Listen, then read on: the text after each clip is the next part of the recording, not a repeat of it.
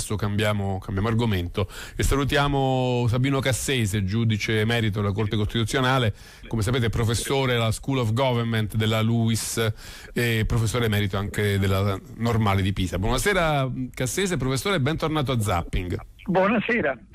Allora c'è tante cose di cui vorrei parlare con lei, ma in particolare una che mi sembra agiti un po' i commentatori, gli analisti, gli editorialisti anche molto i social network, Twitter soprattutto, cioè ha fatto bene o male la ministra dell'interno ad intervenire con una eh, circolare indirizzata ai prefetti in cui si chiede di limitare in vario modo eh, le manifestazioni Novax, no Green Pass, fino al punto di magari renderle addirittura stanziali, cioè di vietare i cortei o di non fargli arrivare nei centri storici dove gli esercizi commerciali da mesi eh, lamentano il fatto che i loro eh, affari piangono per l'invasione di queste manifestazioni. Come ci si regola in questi casi? Sul piatto della bilancia il diritto a manifestare e sull'altro eh, l'ordine pubblico, la, la, la, il buon funzionamento della vita economica e sociale di una città. Ma guardi, secondo me il, la ministra ha fatto benissimo ad adottare a, a, suggerire l'adozione di questi provvedimenti perché l'esercizio dei diritti eh, individuali, in questo caso la libertà di riunione, va bilanciato, contemperato con altri diritti e, e, e noi sappiamo che sono numerosi gli altri diritti che in qualche modo vengono limitati, eh, la libertà di circolazione, perché se c'è una, una riunione o una manifestazione su una strada non si potrà passare, eh, la, eh, l'iniziativa economica privata dei commercianti in quella zona, eh, la quiete pubblica e così via. E poi diciamo, eh, noi abbiamo delle norme su questa materia e abbiamo il testo unico delle leggi di pubblica sicurezza. Questo prevede tra l'altro modificato proprio da Salvini quando era ministro dell'interno, reso più, esatto, più severo, esatto. no? se ricordo questo, bene. Questo è, è, è, un testo che eh, noi abbiamo, un testo unico quindi che raccoglie norme addirittura ancora precedenti, risale al 1931 e prevede delle norme di elementare come dire, buona convivenza che per esercitare la libertà di riunione in un luogo pubblico è necessario un preavviso di tre giorni che il questore può impedire, ma può, eh, senta proprio le parole del testo unico, prescrivere modalità di tempo e di luogo della riunione e questo tra un momento vedremo che è quello sì. che è stato fatto. Può eh, l'autorità di pubblica sicurezza sciogliere se ci sono dei pericoli per la sicurezza, intimare se non viene sciolto dopo uno squillo di tromba, dice il, il, il testo unico, intimare lo scioglimento e se questo non accade sciogliere con l'esercizio della forza, dice proprio la legge dice con la forza.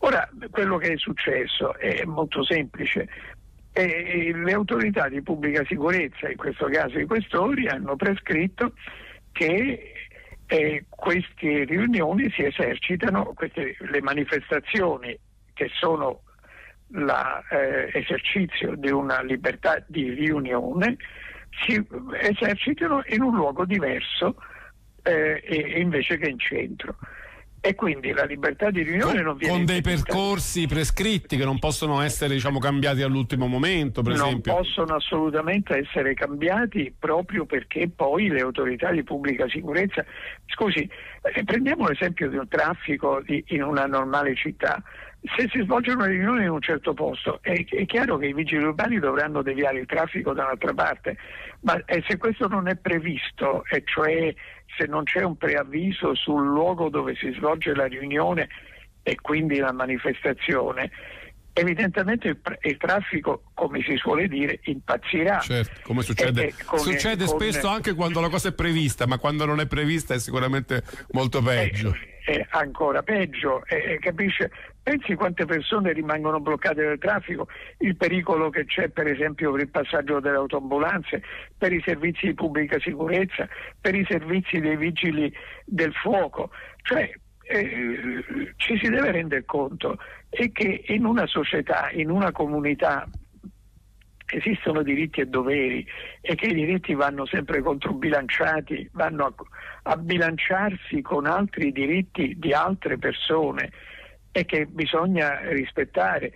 E, se posso aggiungere eh, con voce flebile, ma forse ministro, la ministra poteva addirittura farlo anche prima, questo intervento. Però sai che cosa ho letto come, come obiezione? Cioè si dice sì. più si mettono divieti, più si mettono restrizioni, obblighi da rispettare, più si rischia che i manifestanti eh, li violino questi, questi, divieti e che quindi si vada poi allo scontro, alla violenza, la, cose che invece il ministro dovrebbe voler evitare. Quindi eh, eh, potrebbe essere sbagliato imporre regole troppo rigide perché poi queste farebbero da miccia a, appunto poi al confronto diretto, alla violenza come, come diceva lei. Ma mi scusi, facciamo un po' di conti sulle quantità. Stiamo parlando di eh, manifestazioni di 6.000-7.000 persone al massimo, no? non, ho, non ho letto notizie più, che davano cifre più alte. Dall'altra parte ci sono i diritti di più di 40 milioni di italiani che eh, si sono vaccinati e che vaccinandosi hanno manifestato un'opinione opposta, ma una minoranza, una così piccola minoranza può mettere in dubbio i diritti della maggioranza degli italiani e anche questo va valutato. E, e quindi le forze dell'ordine stanno lì proprio per mantenere l'ordine. Vedevo che Salvini ha fatto una dichiarazione in cui ha detto, tra l'altro, se vietiamo le manifestazioni perché non siamo in grado di far rispettare le regole, allora il ministro non sa fare il suo lavoro. Cioè lui dice, se sei costretta a, a fare queste circolari perché le manifestazioni creano disordine, sono manifestazioni selvagge, eh, vuol dire che non sei brava a controllare l'ordine pubblico.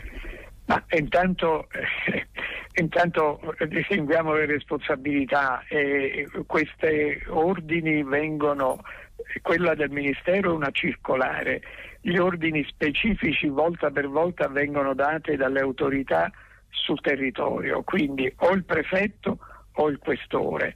Eh, eh, direi che il ministro non è direttamente responsabile di quello che può accadere in una o un'altra città eh, le città italiane sono, sono, numerose e se vogliamo metterci a, a, a valutare questo eh, Anche perché poi quando poi il ministro non controlla bene la piazza ci sono gli assalti ai sindacati viene accusata di essere stata troppo morbida, quando invece mette regole troppo dure viene accusata di essere troppo dura, quindi è anche difficile capire come, come regolarsi in questi casi. Il punto di equilibrio in questi casi è certamente molto difficile, ma certamente eh, siamo in presenza, primo, di una legge che prevede espressamente eh, quelle che le ho parafrasato sono gli articoli da 18 a 24 del testo unico delle leggi di pubblica sicurezza. Primo, quindi c'è una legge.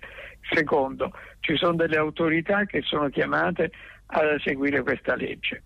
Questa legge non è stata messa in discussione da nessuno. Salvini ha gestito eh, il Ministero dell'Interno come Ministro dell'Interno e non ha fatto eh, modificazioni di questi articoli di questa legge. Quindi non è, non è non sono, non sono, in discussione le libertà eh, eh, come dire, limitate attraverso questa legge.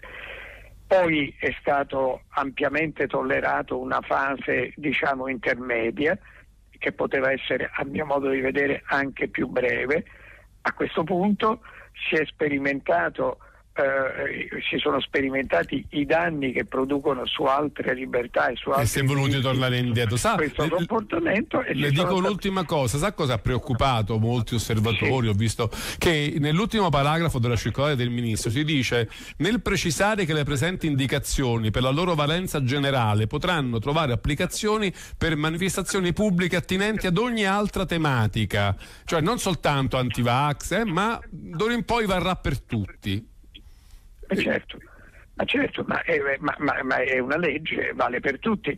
La non c'era quasi non bisogno di questa, non c'era bisogno che... forse neppure di questa spe- specificazione.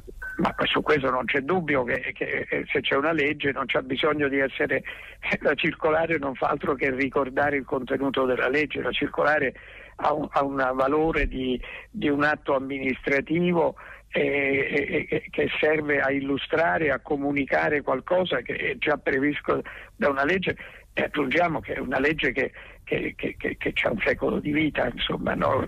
sia pure modificata nel tempo per introdurre delle, dei criteri più liberali in quelli che erano degli appesantimenti del testo unico delle leggi pubblica sicurezza, perché il testo unico risale al 1931, ma la Corte Costituzionale ha ha dovuto valutare articolo per articolo molta parte di questa certo. legge e ne ha controllato la corrispondenza alla Costituzione, la congruità con le disposizioni costituzionali.